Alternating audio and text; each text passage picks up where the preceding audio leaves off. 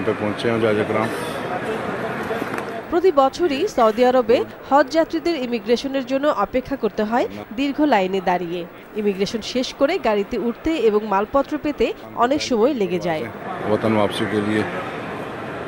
তবে এবার যারা বাংলাদেশি ইমিগ্রেশন সারছেন তাদের সৌদি সরকারের রুট টু মক্কার অধীনে সরাসরি জেদ্দা বিমানবন্দর থেকে নেওয়া হচ্ছে মক্কায়। কিন্তু মালপত্র পেতে অনেক সময় লাগছে বাংলাদেশি হজ যাত্রীদের।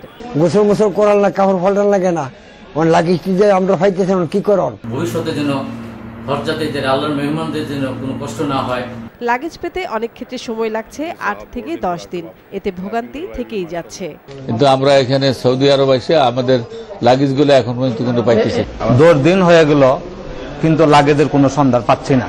এজন্য কিছু কিছু বেসরকারি এজেন্সির অব্যবস্থাপনাকে দায়ী করছে হজ কাউন্সিল। কোন কোন প্রাইভেট এজেন্সি হাজি সাহেবানদের ব্যাগের উপরে মক্কা বা মদিনায় কোন বাড়িতে তারা উঠবেন এই ঠিকানাটা স্পষ্টভাবে লিখছেন না।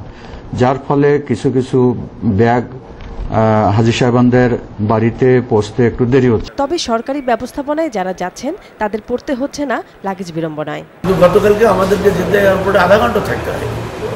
স্ট্রেট প্লেন থেকে নিয়ে এসে ওরা নিজের গাড়িতে চলে গেছে।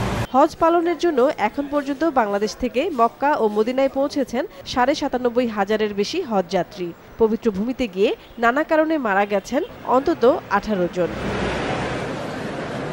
শামিমা নাসরিন আর টিভি